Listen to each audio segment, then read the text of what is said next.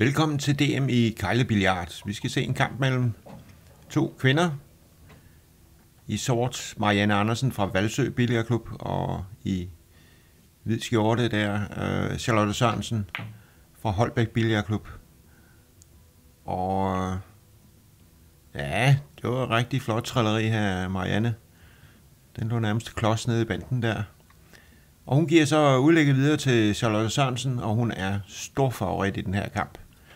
Hun er klart den bedste, har det vist sig i de senere år, øh, danske kvindelige kejlespiller.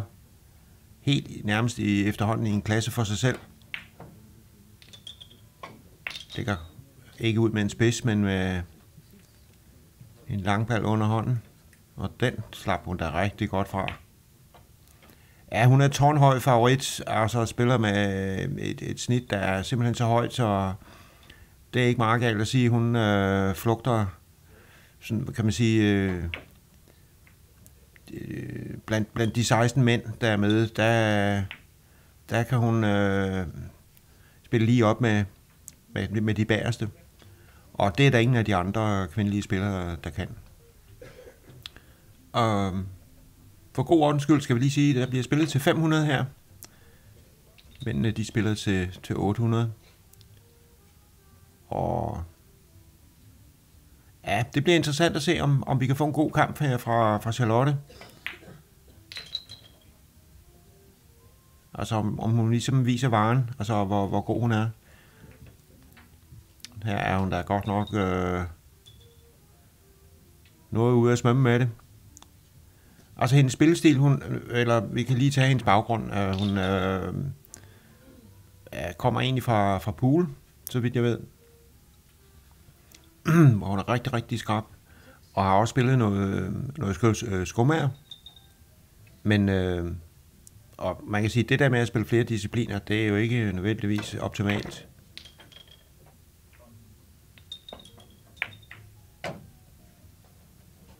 Men her de sidste øh, år, der har hun simpelthen stukket af. Har haft øh, nogle, nogle år, med, og hun havde nogle drabelige kampe med blandt andet Marianne Mortensen om det danske mesterskab. Hun er jo ikke øh, forfærdelig gammel, så det er en, vi kommer til at se i forhåbentlig rigtig, rigtig mange år.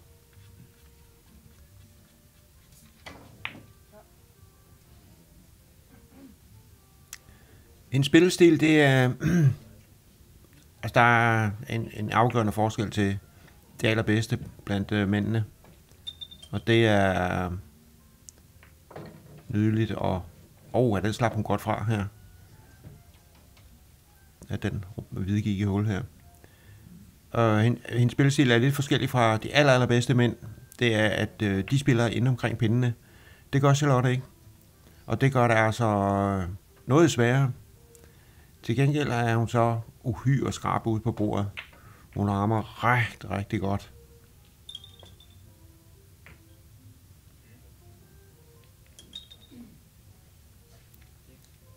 Og det vil vi nok se i, i løbet af kampen, det der med, altså ligesom her, at, at det hvide, det ligger øh, langt væk fra kejlerne, og her skal hun så nok spille en enten langbal eller spids. Gætter på en, en langbal under hånden her. Og det der er med den type stød her, altså det, det er, det er svære baller, som, som kan misses. Og det er ulempen ved at, at spille ud på bordet.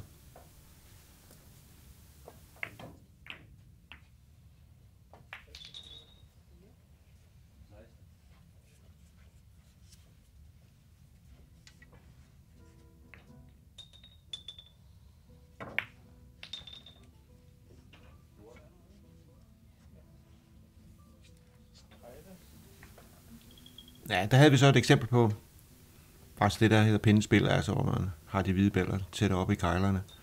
Den ramte hun for tygt og for hårdt.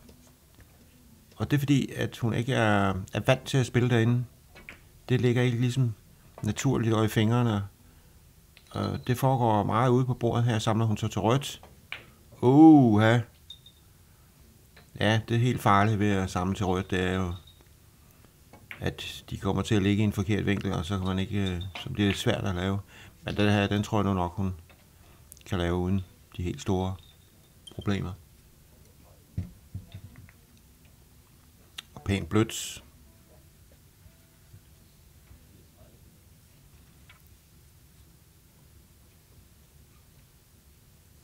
Ja, jeg spiller over et her.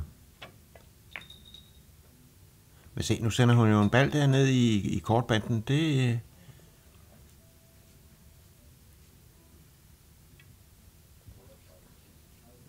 det er ikke så nemt. Altså hun kan godt lave den her langbal, men, øh, men hvad ligger der bagefter?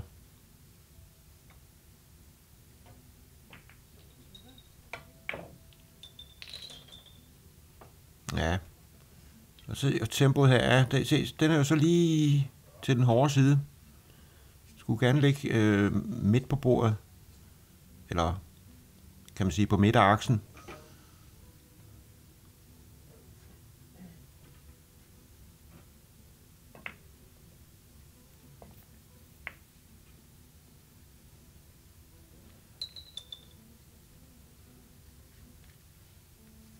Ja, det var faktisk øh, meget fint tempo her. Så, så det, man kan lægge mærke til her, øh, så længe Charlotte har været bordet, det er den måde, hun spiller på, er, altså om hun kan få de to hvidebæller ind, ind omkring kejlerne, og for eksempel her, det, det er godt nok lidt hårdt, det hun laver. Men nu har vi faktisk situationen her, at nu ligger de to hvide ind omkring kejlerne, og, og hvis det var blandt topspillerne, blandt mændene der, så ville der lynhurtigt være 100 og måske flere hundrede point her. Men, øh, men sådan spiller Charlotte ikke. Kan man sige endnu. Det måske, kan man sige på den øh, måde, det er det, hun mangler i sit spil. Det, det er det der pindespil. Så for eksempel her, at spille en bal på den måde, der, øh, det, i stedet for bare at snit øh, ballen ind omkring kejlerne, der, det, det er ikke naturligt for hende. Og så bliver det hele jo altså meget sværere.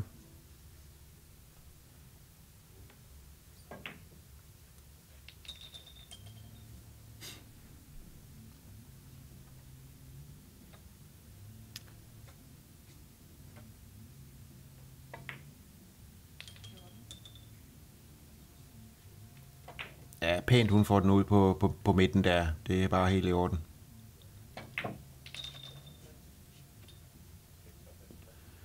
Men Charlotte, hun er altså ikke bare en fremragende kvindelig billardspiller, hun er simpelthen en dygtig billardspiller. Og øh, har en fænomenal stødteknik. Og som sagt, hun rammer helt fantastisk ud på bordet.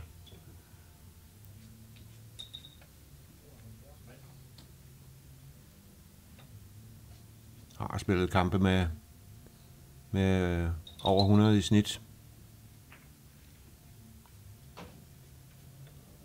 Og hvis man tænker på, at øh, i de gode gamle dage, altså før Charlotte Sørensens tid, der blev det danske mesterskab vundet med øh, i stedet mellem 25 og 30 i, gennemsnit.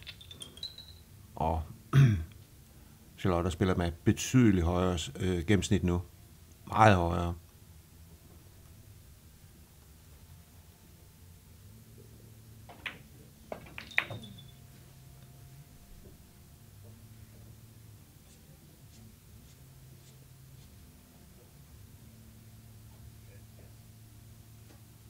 Ja, hun har store problemer her, fordi den kunne godt snittes tyndt. Og øh, den ene hvide der, men, men, øh, men der er et hul derovre, hun skal passe på. Fordi hun går meget tyndt på, og så passer det lige med, at, at rød vil gerne gå i midterhullet, så... Ja, hun spiller på rødt der, det var helt sikkert nok det klogeste.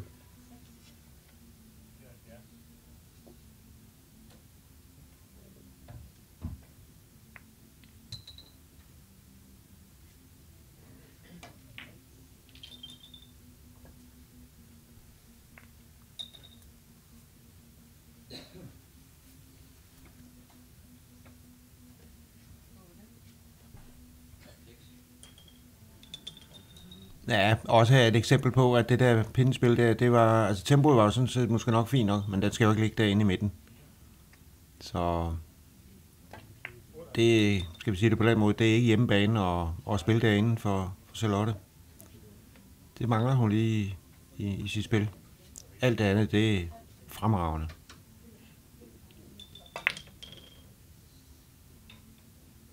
Pænt trækstød, men se, hvid der, den løber lige langt nok.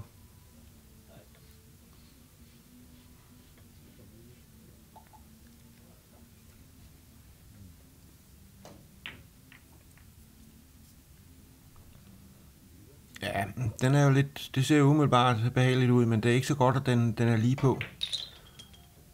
Spiller hun lige sådan en kvart der, skal vi lige se tempoet her. Ah, det er fremragende. Godt tempo, hun havde i den ball der.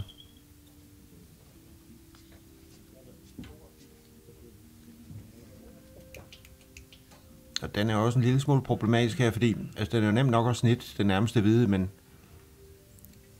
hvor skal hun lige gøre rød? Der ligger den anden hvide jo sådan, kan man sige, lidt i vejen, ikke? Og så er risikoen her, at man, man ligesom mister øh, positionen. Så det er ikke helt nemt det her. Ja, er meget smukt spillet. Hun rammer den sidste hvide der på den helt rigtige side.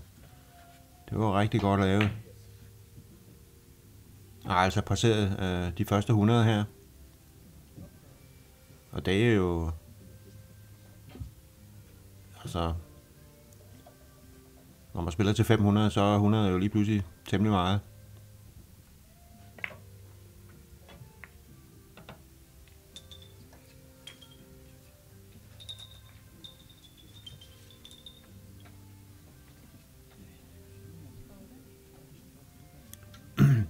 Og igen her, en super position her.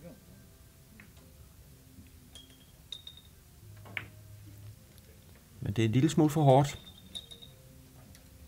Den løber lidt for langt væk, den hvide der. Det er ikke optimalt.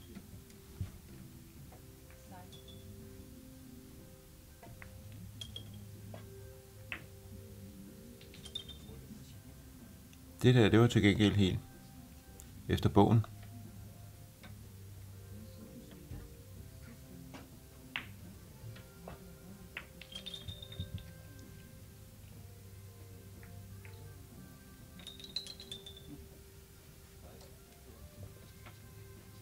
Ja, lige nu er det jo så det, der hedder pindespil, altså hvor de hvide, de, øh, de ligger op om, omkring kejlerne, og, og så skal rød ud og have en bande nu.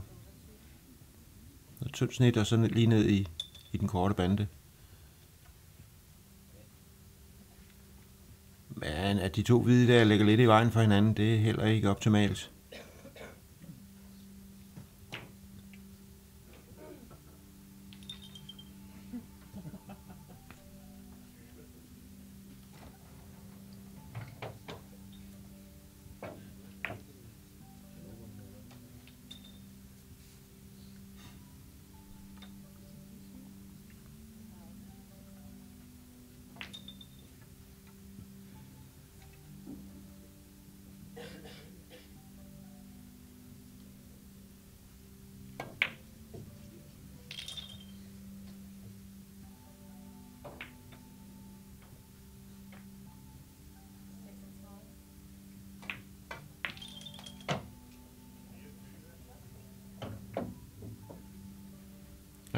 Det slap hun ikke godt fra. Puh, ja, det ligger svært her. De to hvide, det er nærmest så langt væk fra kejleren som overhovedet muligt. Og det der, at få det udviklet. og det er jo oplagt at spille rødt her. Men at få det udviklet og, og, og vendt om til, til bedre position, det,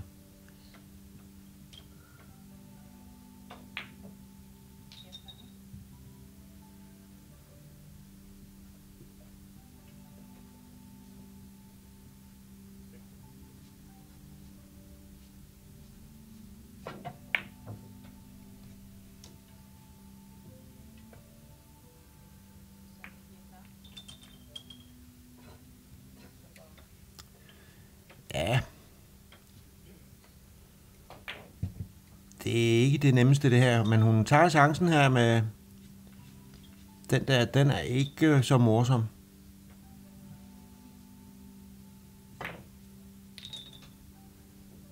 Ja, og se.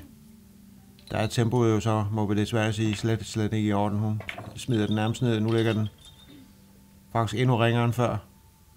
Og det er jo ikke det, der er meningen. Det er jo meningen, at hvis, selvfølgelig hvis man kan komme afsted med det, at man hele tiden forbedrer sin position, indtil den er optimal, og så holder den der, og det optimale er selvfølgelig ind omkring pindene.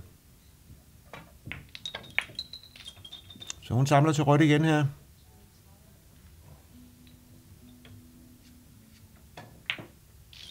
Ja, puha.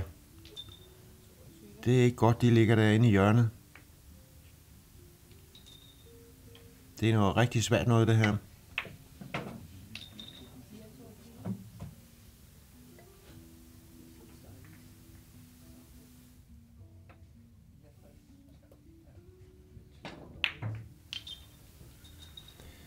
Ja, reglerne er jo sådan, at der må laves rødt to gange uden kejler, men tredje gang, så skal der være en kejle med.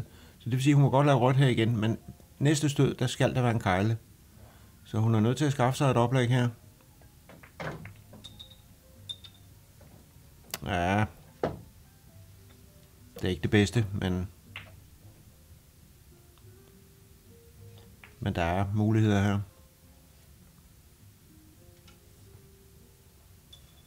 Tror, jeg, hun skal trække rød med hele vejen rundt.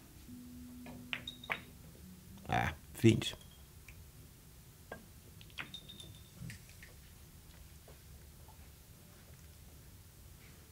Det og flirte meget kraftigt med hjørnehullet der, men, men det gik for hende. Ja, så nu er hun oppe på 170. Ja, det er jo en tredjedel af distancen, cirkus.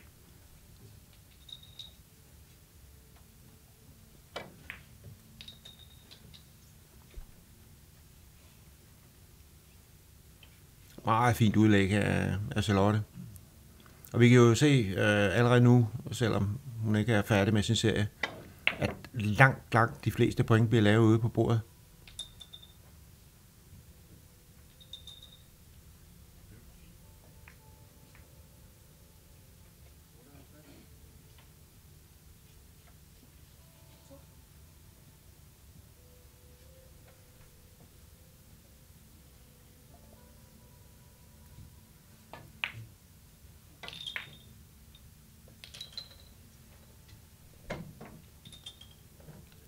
Ikke, Charlotte var ked af, at den gik i hul, den der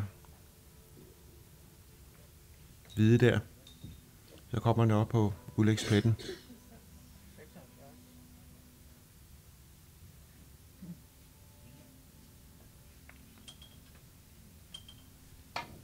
Vi kan jo lige sige, at Charlotte Sørensen og Marianne Andersen her, som vi jo ikke har set endnu, og er selvfølgelig altså den puljekamp her, og øh, ja, det er jo ikke en kamp, som Marianne hun øh, regner med at vinde.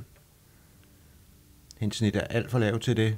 Ligger omkring 15 stykker i, i gennemsnit.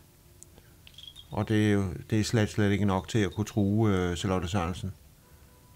Og øh, så, så det er ikke en kamp, øh, Marianne hun regner med at vinde. Men der er jo der er fire spillere i, i puljen. Og det øh, er ud over de to her, så er det øh, Susanne Vennerstorff og Pia Tybom.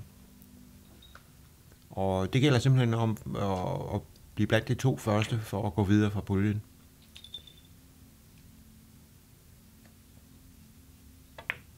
Så det er ikke her, Marianne hun skal, skal lave et resultat. Det, øh, det er de andre kampe.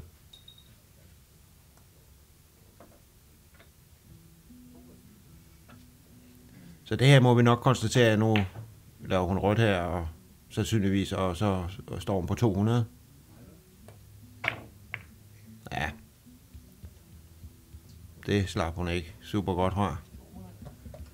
Men 200 her, altså det viser jo bare, altså det er jo, øh, ja, det er virkelig, virkelig flot. Og igen, specielt hvis man tænker på den måde, hun har lavet de 200 på her, det er rigtig mange svære baller. Pænt tempo her.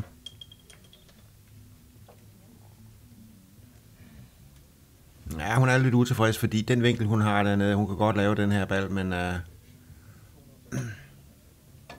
Nu skifter vi lige dommer her. Det plejer de at gøre efter hver, hver gang, der er lavet 200 point. Så bytter dommer og listefører. Hun har lidt et problem her. Altså, man vil gerne spille en, en spids af to gange. Altså lige forbi kejlerne første gang, og så komme øh, ned fra den anden spids.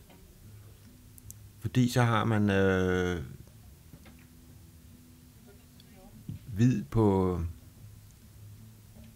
på den samme side som, af, af kejlerne som rød, når stødet er, er færdigt. Men problemet er, at den anden hvide ligger ligesom i vejen her. Så vi skal se, hvad hun finder på her.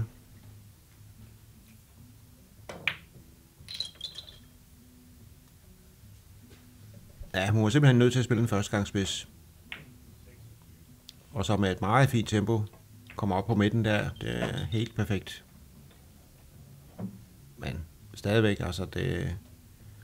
Ja, den ligger vist meget fint her.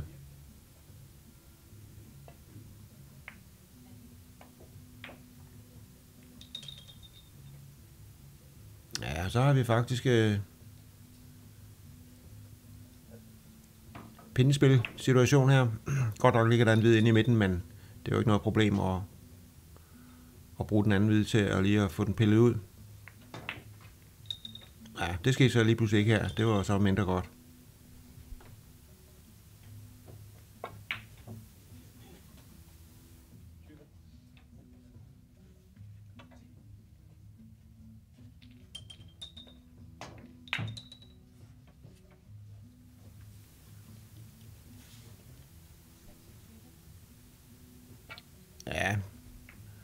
Ikke... Øh, altså, det bliver så ligesom det, man kalder en kombination, hun spiller her. Ja. Men ikke helt perfekt. Jeg tror, det går fint nok, men øh, det var lidt hårdt.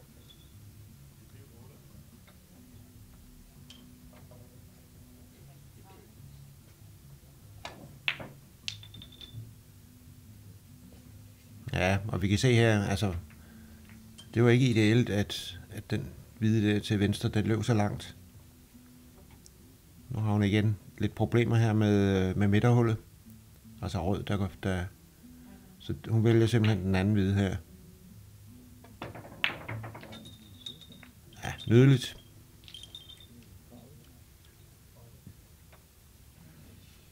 Ja, det er en ordentlig serie, hun får lavet her øh, i allerførste indgang.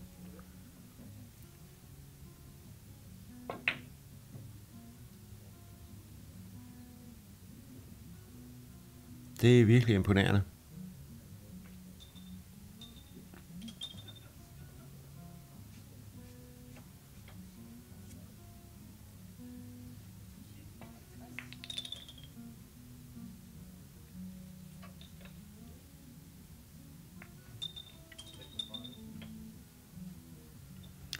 Ja, vi kan se det der pindespil der, det, det øh, holder ikke ret længe.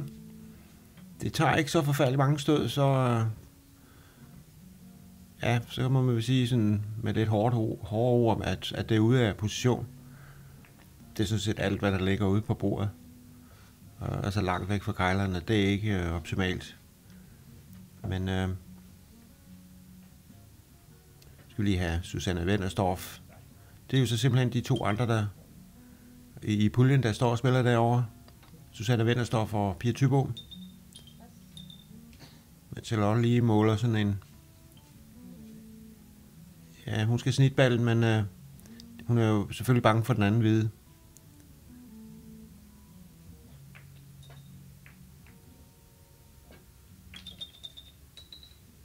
Ja, fornuftigt her. Ja,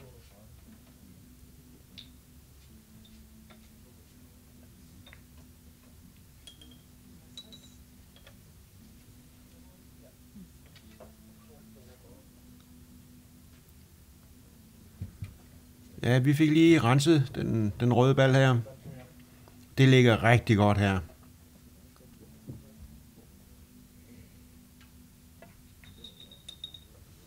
Og så igen hvid, den lå altså flankt. Det er ikke hjemmebane, det der.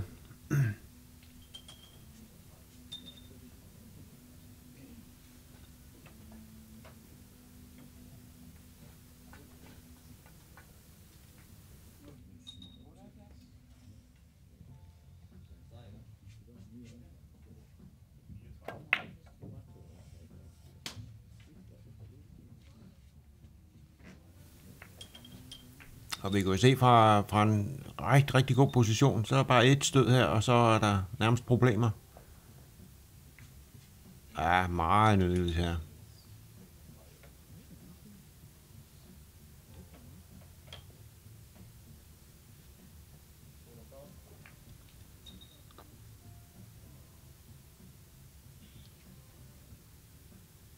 Og vi skal lige have Susanne til at støde, så Charlotte kan komme til.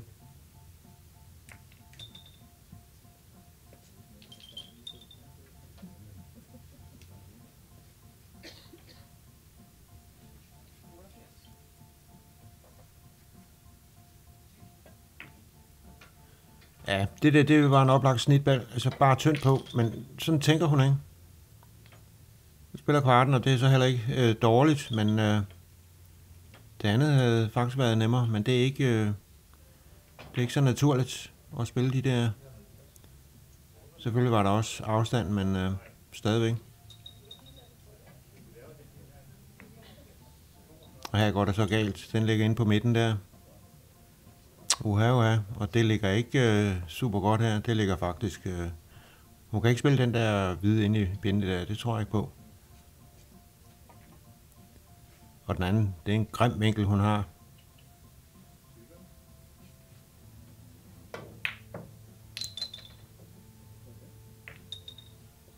Ja. Og så er det ikke pindespil længere, men prøv at se, hvor, hvor effektiv hun er på, på sådan en langbald der. Det, det er meget imponerende.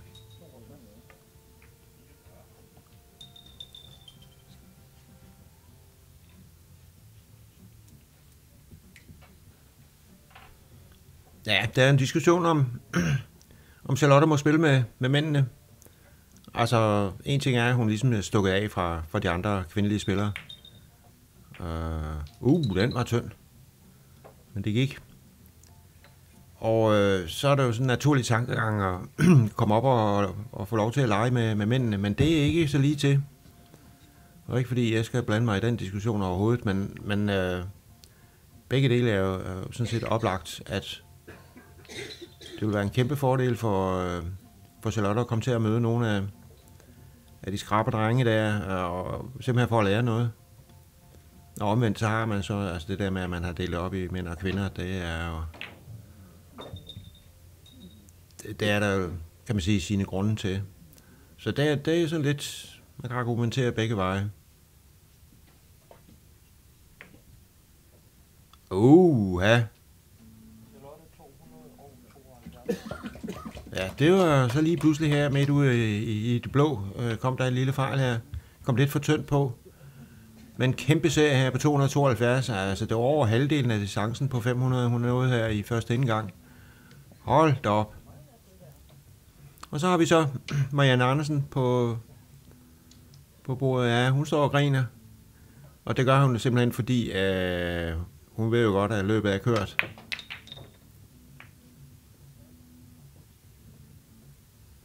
Og, og prøve at tage det øh, som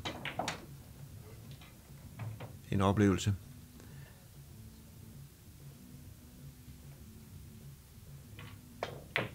Oh. Ja. Det var sådan, øh, altså det var også lidt hårdt stødt, og, og hvad har vi, men øh, og så når den, den hvide ligger inde i banden, så bliver den meget kort. Så det snød lige Marianne der. Så det blev den mindste serie, man kan lave en enkelt pind. Men som sagt, altså for Marianne betyder det her ikke noget som helst, fordi øh, hun har solgt kampen på forhånd. Og man kan sige, med sin kæmpe serie der, så har Charlotte i hvert fald også, kan man sige, demonstreret sin magt.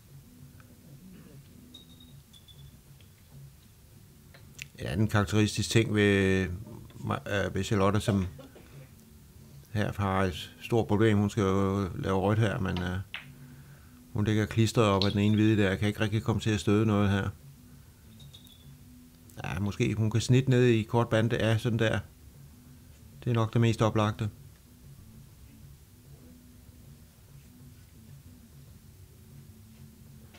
Men ting, som, er, som, vi, som vi ser her lige, lige nu, det er, at Charlotte, hun går ikke bare ned og, og støder. Det, det er der nogle kejlespillere, der, kan man sige, Ja, med et hårdt udtryk har, har den fejl, at det går for stærkt. Selv blandt toppen af, af spillerne, så kan det nogle gange gå for stærkt. Og der må man sige, at Charlotte hun er en rigtig dygtig billardspiller på den måde, at hun giver sig god tid og tænker sig rigtig godt om, hvis der er problemer. Meget koncentreret og disciplineret.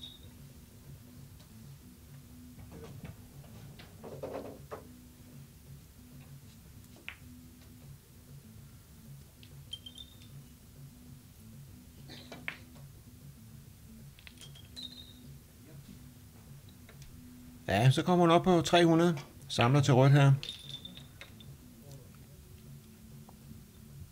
Og vi er kun i anden indgang. Spiller altså til 500, og så vidt jeg ved, så kan det her godt gå hen og blive til en rekord, hvis, hvis hun kan få, få lukket pænt hurtigt. Altså en, en, en dansk rekord i at lukke i første indgange. Det er i hvert fald, hun har givet sig selv en, en rigtig god mulighed ved, ved alle de point, hun lavede i første indgang. Uh, den er lidt blød her. Og skal op på midten. Ja, den er okay. Det kan bruges.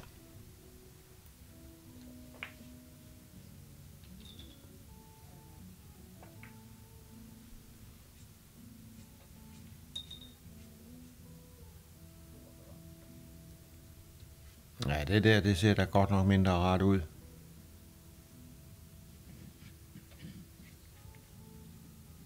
Jeg ved ikke, om hun laver medløbsrødt her og spiller kvarten. Ja, lige præcis. Men hun får skubbet den ene bal dernede i omkring hjørnehullet der. Det er ikke for smart.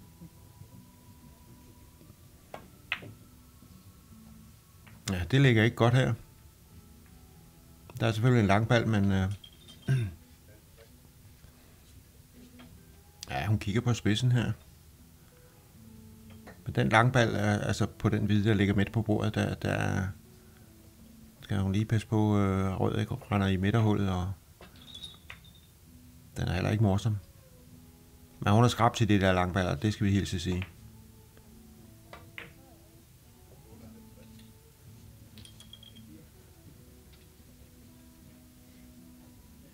Ja, jeg forsøgte at spille med tempo her, men det gik ikke. Det ligger helt forfærdeligt her.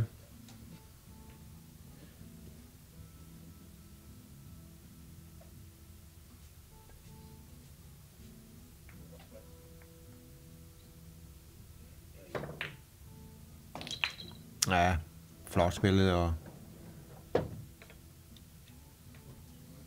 få reddet sig ud af en, en virkelig, virkelig vanskelig situation her. Dommeren i øjeblikket, det er jo et Jens Nielsen her fra fra Odense. Tidligere fjerde Uh, så kom der en fejl her. Det er anden gang, hun laver den der øh, tørbal for, for åben. Uha, uha. Så det blev kun en serie på 48. Det var lidt træls. Hvis vi tænker på, at hun ja, altså muligvis kan lave en rekord her. Med sit fantastiske udlæg i første indgang. Så Marianne igen. Øh. Ja, jeg forsøgte at spille på to ting der. Det var nok ikke klogt. Rødt og, og langbal. det blev en tom indgang her til, til Marianne. Men typisk Marianne, hun kan godt lide at grine lidt af det hele, så det er også fint nok. At man ikke sådan tager det alt for tungt.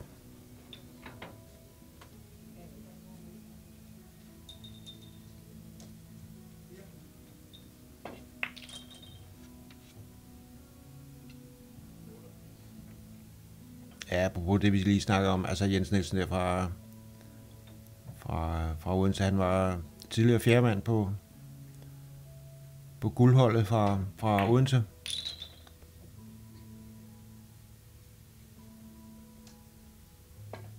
Og har så valgt at, at holde en lille pause. Men pointen er her, at altså, der er mange, der kommer og hjælper til til sådan en stævne her, som dommer. Det er meget imponerende. Nu har Charlotte et kæmpe problem her. Det ligger helt forfærdeligt. Det er oplagt at tænke på at, at forsøge at, at lave rødt her, men uh, ah, hun vil snitte den tyndt og spille langbal. Og så kører rød på tværs og måske give rødt.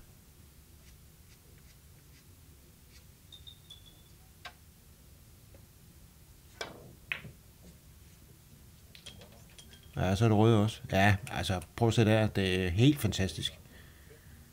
Det er helt klart, det er kampens bedste stød. Det der, det var super, super svært, og hun laver det helt perfekt.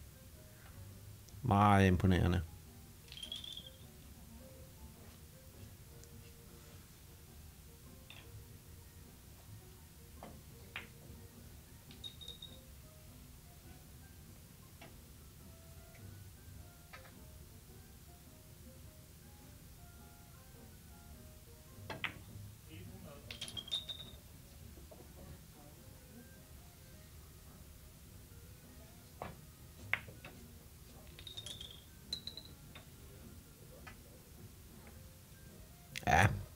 Rigtig flot tempo her.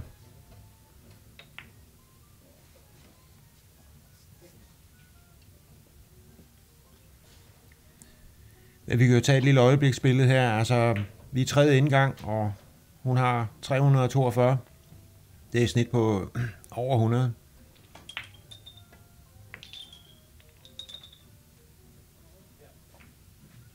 Det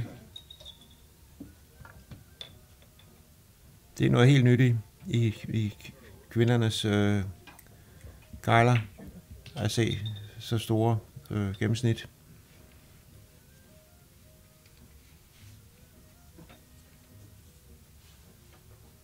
Men selvfølgelig den hvide, der ligger der over i banden der, det, den er godt nok noget ude af, af spillet i øjeblikket.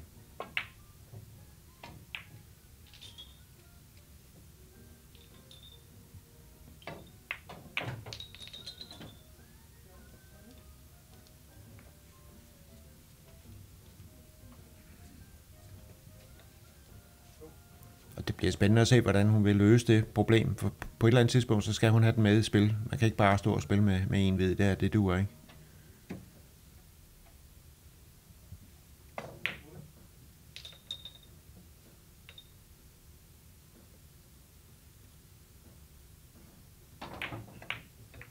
Ja, virkelig pænt tempo, hun havde den der.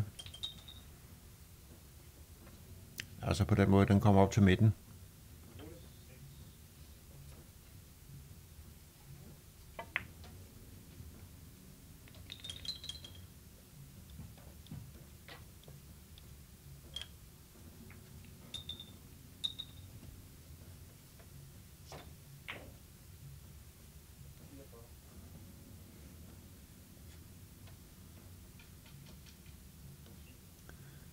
Ja, men altså...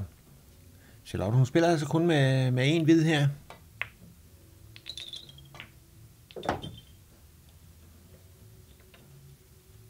Det...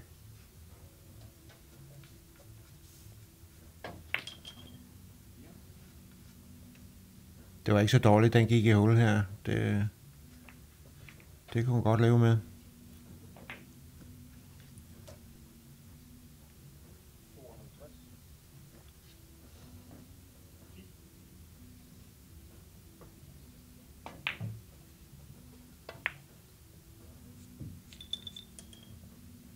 Ja, nydeligt tempo her. Men øh, stadigvæk kun en hvid bal, der er rigtig er spilbar her.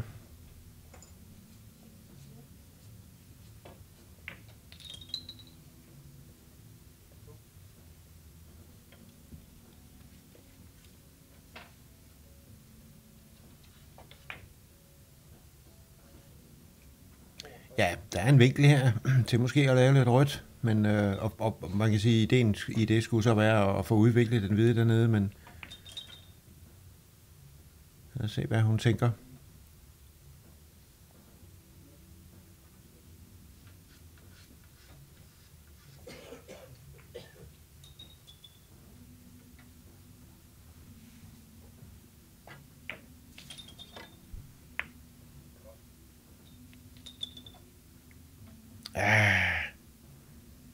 Hun får lavet rødt, men fik ikke udviklet den hvide, og det var det, der var ideen i det. Det var meget tæt på, men... Øh,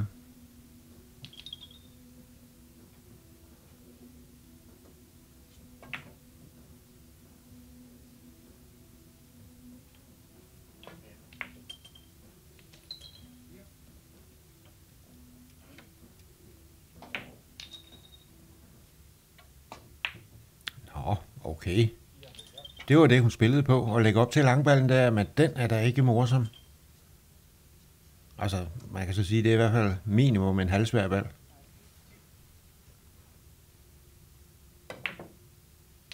Ah, flot. Øh, ja. Øj, hvor ligger det dårligt nu. Det ligger helt forfærdeligt. Selvfølgelig fordi hun får den kontra der. Ja, den de ligger sig sådan der ude for hullet. Puh, ja. Ja, nu kan vi ikke lige se det for dommeren her, men... Nu spiller jeg noget forbande. Ej, hvor er det flot. Det er helt fantastisk, det hun laver der. Men hun slipper rigtig, rigtig skidt fra det. Hun passerede så her øh, de 400. Og mangler altså nu 98 point i at nå de 500. Og den er ikke morsom heller her. Altså det er selvfølgelig en lang bal. Kan gå både første og anden gang. Men øh, og hun skal lige passe på, ja der er langt derned, og så skal hun passe på hjørnehullet med rød. Det er derfor hun går dybt i ballen. Trækker i rød ball.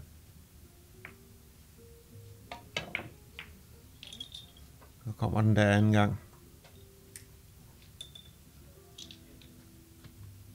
Men det er klart, kan man sige på en måde, at hun kan ikke rigtig styre tempoet her. Det var vigtigt bare overhovedet at, at få scoret.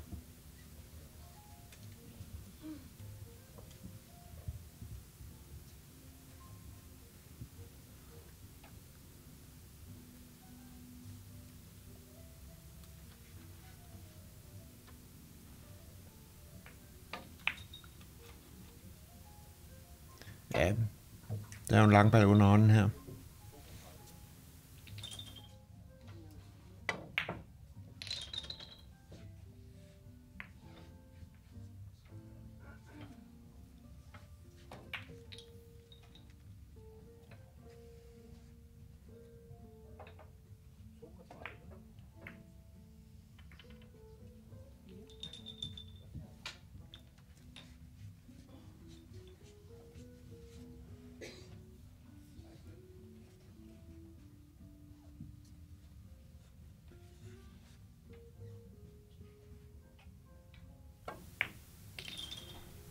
Også her store problemer. Altså den hvide til venstre, som vi ser det, kunne i princippet spilles rundt i en kvart, men der ligger den anden hvide jo i vejen.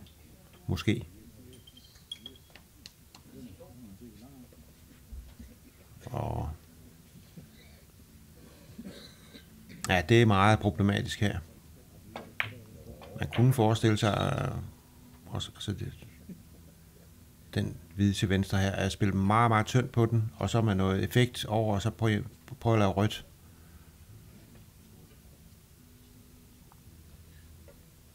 Ja, det er nok det, hun prøver. Og så måske spille højspids her. Ja. Og der var ikke noget af det, der kom. Det var for svært, og, men det blev så ikke desto mindre til en serie på 90. Og det er så også 90, hun mangler i at, at lukke. Så. Og stadigvæk er så et snit på langt over 100. Meget imponerende af Charlotte.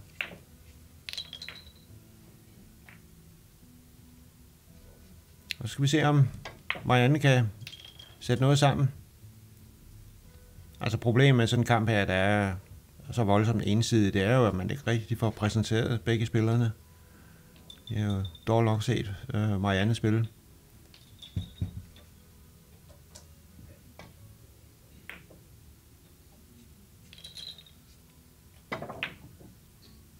Ja, det var pænt. Langballen også få lagt godt op øh, bag den anden. Det var bare helt i orden.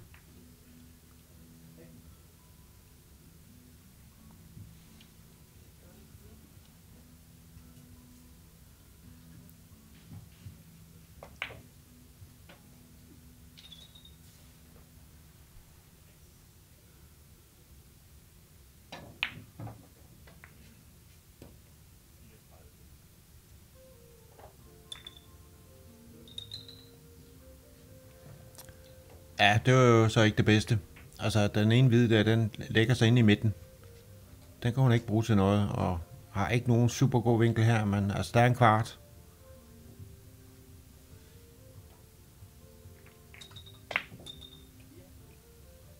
Og den er også fin ramt. Man prøver at se, typisk, hvis man spiller med 15 i snit, det er, tempoet er, er tit øh, alt for voldsomt.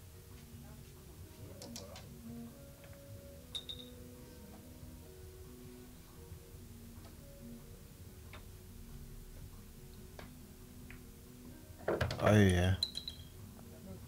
Den ramte hun for tyndt her. Så det blev en sag på 20.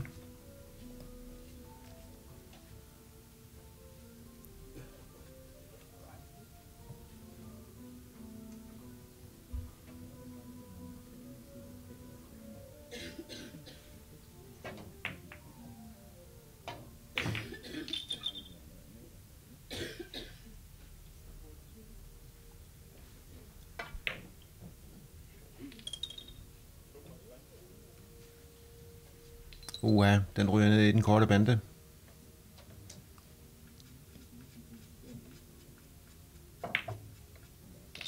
Men hun har altså, altså hun lagde op til tværballen der på den anden hvide.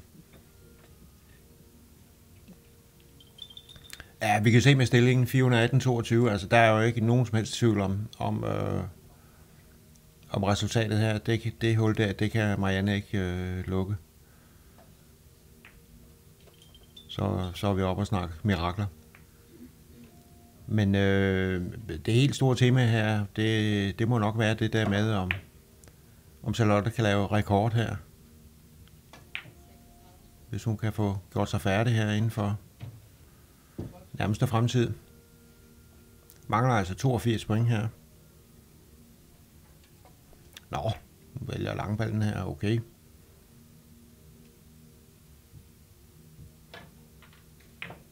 Ja, prøv at se, hvor godt hun rammer. Det er altså virkelig imponerende. Men lige lidt for meget tempo.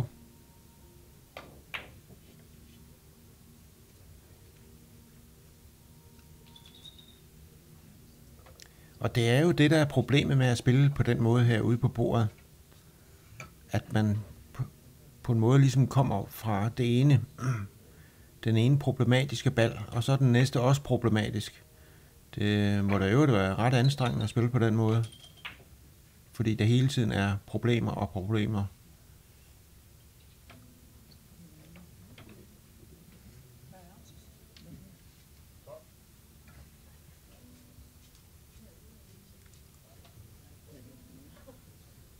Ja, det er oplagt at, at spille rødt her, tror jeg.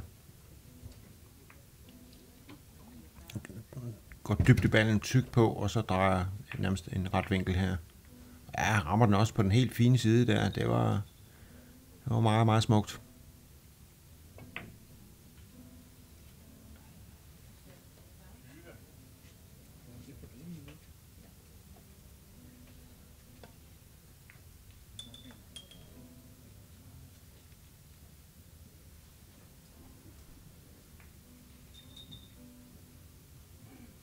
Ja, det er så et rekordforsøg her.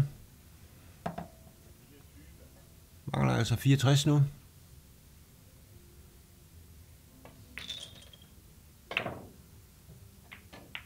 Den var også for blød her.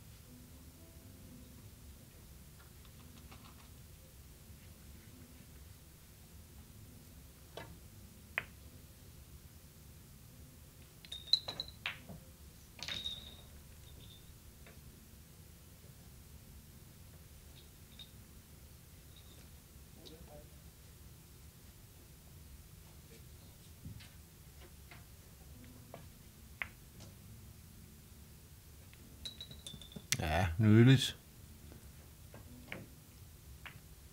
Kommer ned bag den anden hvide der. Måske ikke lige helt perfekt, men øh, det ser ikke så tosset ud her, tror jeg.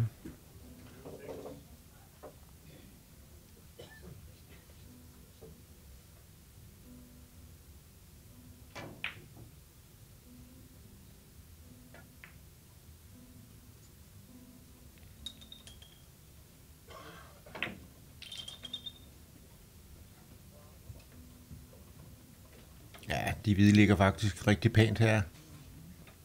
Ser godt ud.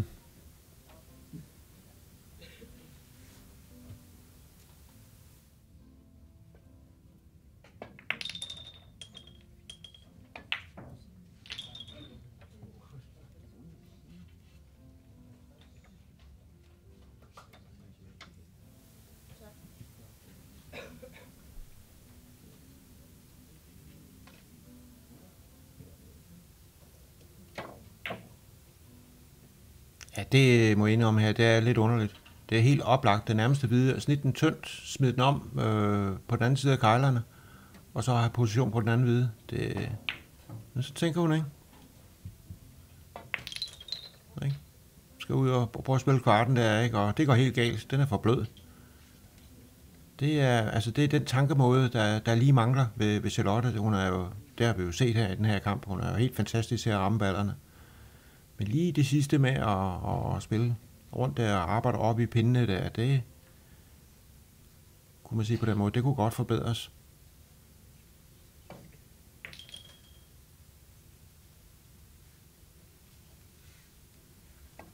Ja, så er der nedtælling mangler 30.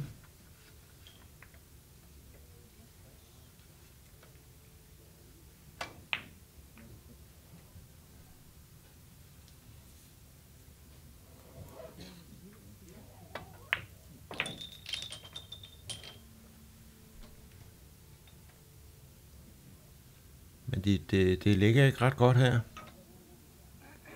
Det er noget bøvl.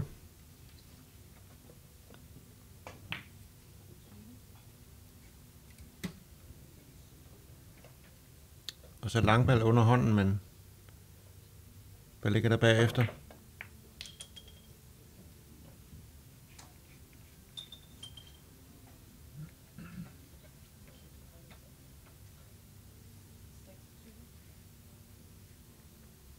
Ja, der ligger jo så sådan en sværbald der, men øh, den har hun faktisk brændt to gange, hvor hun kom for tyndt på. Og det ved jeg ikke, om hun går og spekulerer på. Jeg tror ikke, hun har glemt det. Altså, det er ikke en morsom vinkel, den der. Og den her gang var det helt perfekt. Ren midterpind der, det var... Det var sikkert. Mangler nu 20.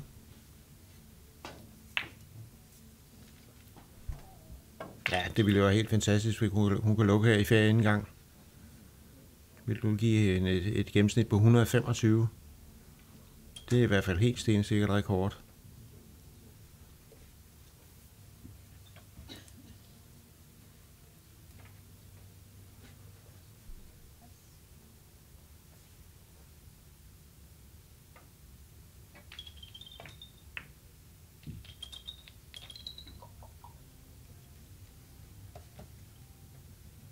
Ja, det begynder altså at blive mere og mere spændende her. Altså ikke kampen jo selvfølgelig. Den her totalt indside til fordel for Charlotte, men øh, om hun kan lukke her. Mangler altså 16.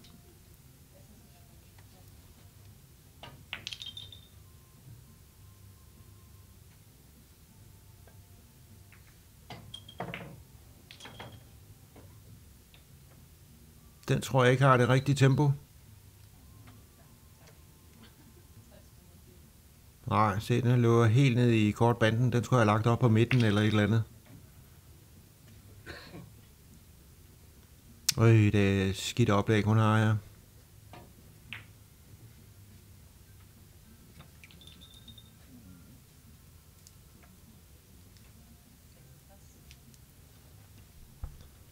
Og det er jo helt forfærdeligt på den måde. Hun kun mangler 12 point her, og så er der så store problemer her.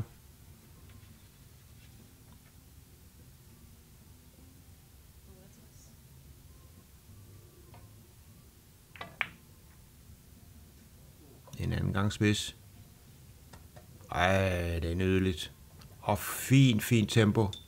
Ej, det er jo godt lavet her. Men er der problemer med vinkelen? Det er der. Uh, ja, man kan se det tydeligt her. Et lille fint tyndt snit kan godt lade sig gøre.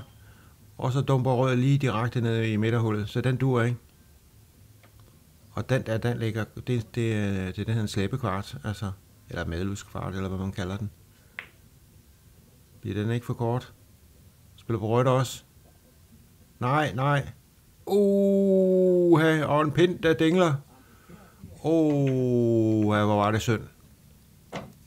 Altså ikke fordi Charlotte ikke øh, vinder kampen, men hvis hun havde lukket her i, i fjerde indgang, det ville jo være helt fantastisk. Men det glippede. Ej, det var synd.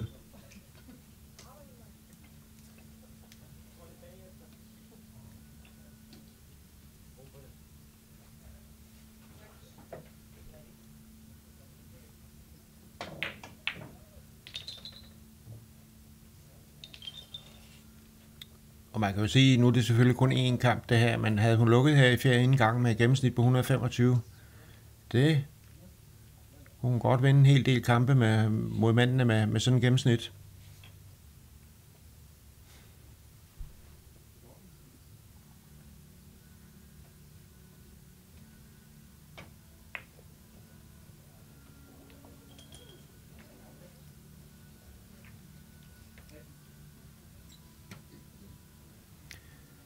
Men altså, Marianne ved bordet har mulighed for at pynte lidt på,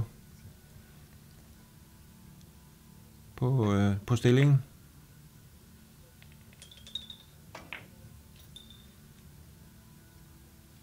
Skulle nok have haft lidt mere tempo for at samle til rødt.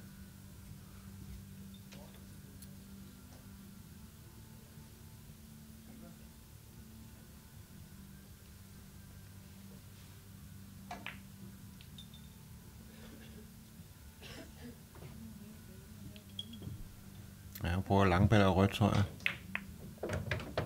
Ja, glemrende. Hvad problemet med, med, med sådan en spillestil her, som Marianne har, der der er ikke ret meget position i, i, i tingene.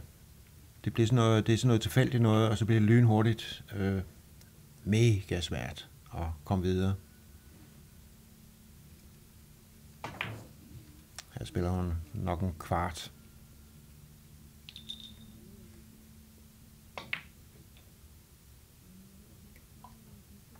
Ja, meget anderledes.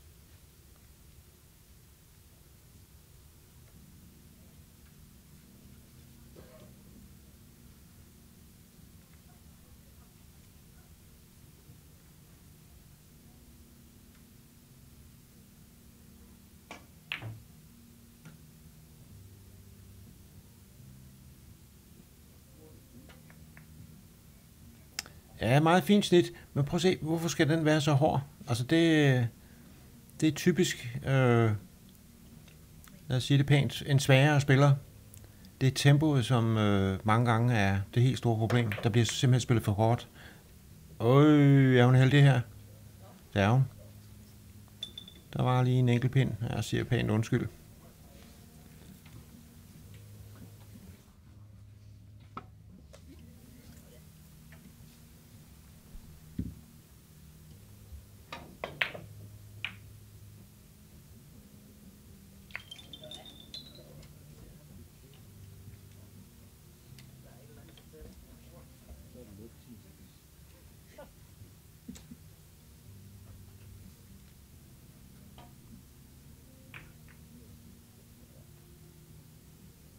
Også her, øh, både tempoet og, og, og det er den forkerte hvide bal, hun spiller på her.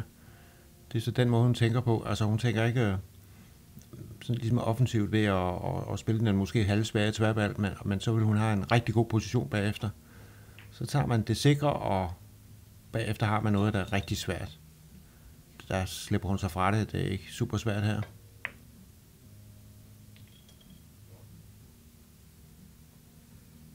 får en enkelt pind.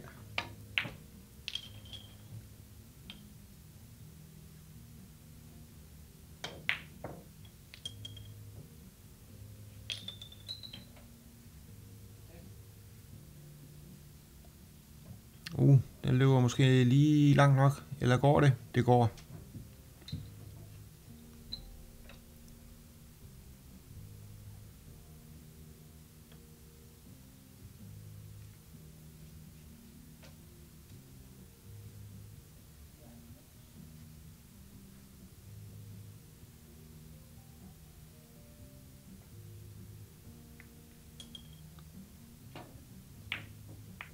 Ja, det er rart lige at se, at Marianne lige får sat lidt sammen her. Kan man sige, bliver præsenteret. Spiller som sagt, ja, der har vi også øh, et problem med at, at spille i Kejleren, der kommer alt for tykt og hårdt. Og så løber det lidt væk her. Og det er altså sådan en spiller med omkring 15 i snit, øh, mellem 15 og 20. Og så bliver den for kort her. Og så er det helt store spørgsmål om Marianne kan lave det sidste, øh, eller Charlotte, så hedder hun selvfølgelig, kan lave det sidste otte her. Men de to hvide, de ligger altså i vejen for hinanden. Det ser bestemt ikke rart ud, det der. Ja, hun står godt nok også og kigger. Puha. Og vi skal lige huske på, altså når man mangler 8, altså kampen er for længst afgjort, men uh, kan hun få lavet den her rekord. Danmarks rekord i færreste indgange.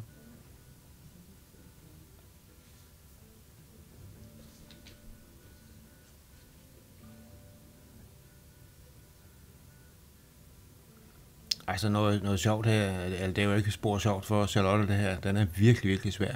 Men prøv at lægge mærke til, hvordan hun går rundt og måler og finder muligheder. Altså, det er faktisk ret imponerende, så hvad skal man sige, seriøst og professionelt hun går til værks, og det er selvfølgelig også grunden til hendes store succes som, øh, som billardspiller, at, at hun har den kvalitet der. Hun prøver at spille rødt her. Nej. For kontra der, det gik ikke. Det blev en tom indgang. Oha.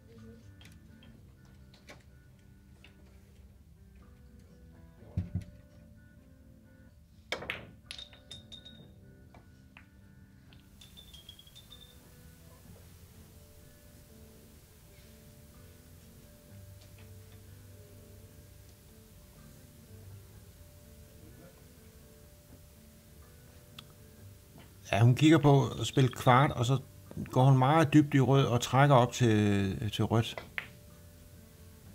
Uh, ja, den var farlig, den røde der. Og, og nu er hun faktisk lidt på den her, Marianne. Fordi øh, hun kan ikke komme til at støde.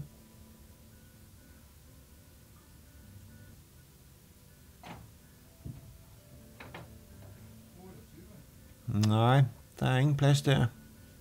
Det var altså oplagt, hvis hun kunne komme på venstre side der. Hun kunne nødt til at prøve den anden der. Ja, det går helt galt her. Men det var også noget, der er umuligt at, at komme til at støde der. Fordi rød var lå alt for tæt på, på pindene der, de pindene var i vejen. Og så skal vi se, om hun ikke får lavet det sidste otte her. Hun kan godt lave den her. Spørgsmålet er lige, hvad der ligger bagefter. De var bare allerede der, de sidste otte.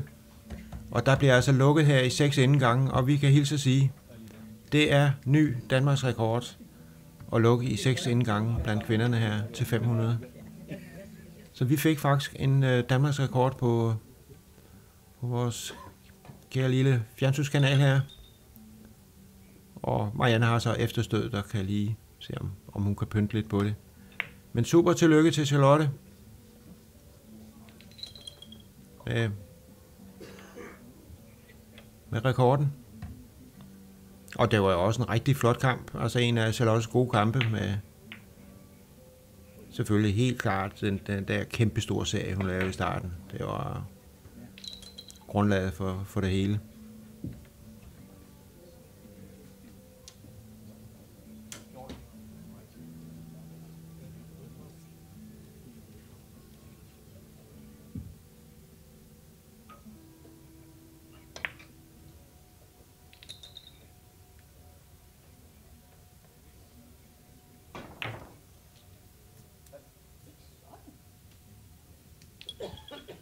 Så bliver det svært her.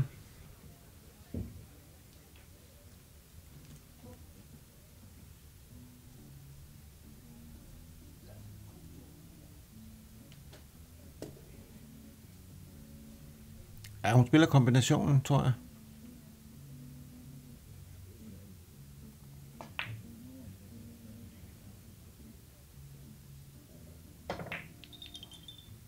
Åh, oh, hvor skal rød hen? Ja, det du ikke. Tak for kampen her. Og vi må sige, super imponerende Danmarks rekord her, Charlotte. Spiller med 83. Kommer 33. Altså, og det var jo rigtig dejligt at se, hvor, hvor dygtig hun er.